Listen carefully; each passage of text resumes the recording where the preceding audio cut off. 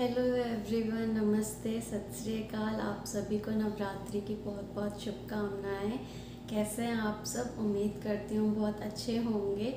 आज नवरात्रि का पहला दिन है और कनाडा में हमने इसको कैसे सेलिब्रेट किया, ये मैं आपको वीडियो में दिखाऊँगी। और बहुत सारे लोग वीडियोस देखते हैं बट चैनल को सब्सक्राइब नहीं किया है। आप सबसे निवेदन है, अगर आपको वीडियोस अच्छी लग रही हैं तो चैनल को सब्सक्राइब भी कर लें। तो अभी हम जा रहे हैं नवरात्रि की शॉपिंग करने और ये सामान आपको सिर्फ़ इंडियन स्टोर, देसी स्टोर या एशियन स्टोर पे ही मिलने वाला है। कनाडा में इस तरह से पिलर पे साइन बोर्ड्स होते हैं, इस तरह से यहाँ पे बस स्टॉप्स होते हैं और मौसम तो बहुत अच्छा हो रहा है। पिछली नवरात्रि को भी कुछ इसी तरह का बारिश जैसा मौसम था। बहुत ज़्यादा ठंड नहीं है, बहुत प्लेजेंट सी हवा चल रही है।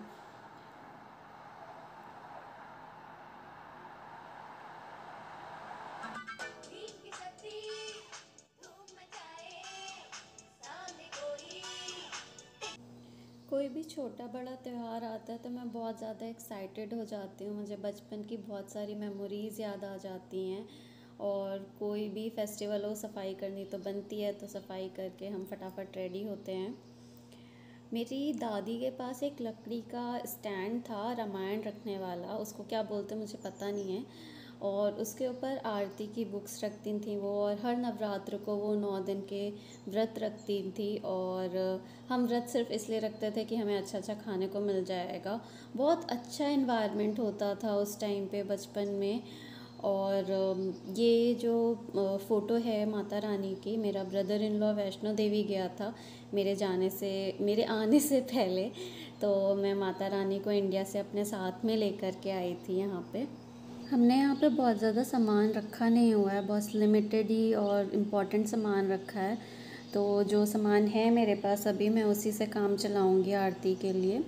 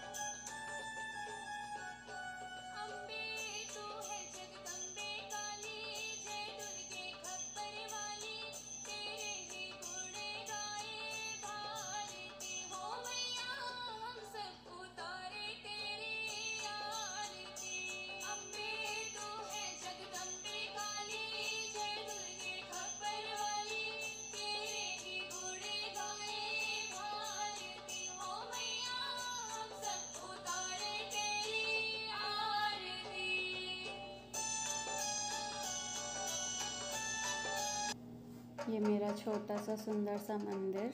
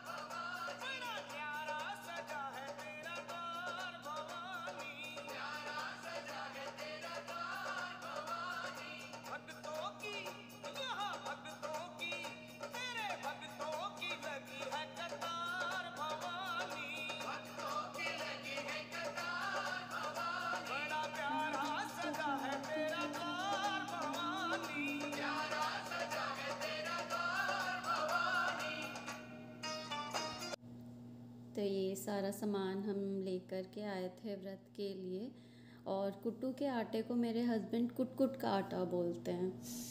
यहाँ पे लौकी को बॉईल करने रखा हुआ है रायता बनाने के लिए और सारी वेजिटेबल्स मैंने कट कर ली हैं। मेरे हस्बैंड धनिया को धुल रहे हैं। ये सारी सब्ज़ियाँ हमने कट करी हैं सब्ज़ी बनाने के लिए।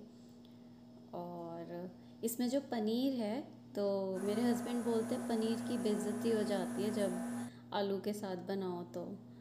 लेकिन व्रत में तो आपको यही खाना है।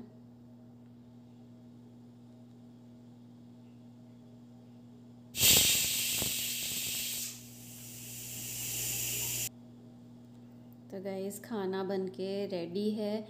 ये कुट्टू और सिंगाड़े के आटे की पूड़ी की जगह हमने पराठे बनाए हैं। उम्मीद करती हूँ कि आपको वीडियो अच्छी लगी होगी। बचपन की बहुत सारी मेमोरीज़ रिकॉल हो गई होंगी और आप भी अपने परिजनों के साथ नवरात्रि को इन्जॉय करें। माता रानी हम सब पर अपनी कृपा बनाए रखें और ज़ोर से बोलो, जय माता दी।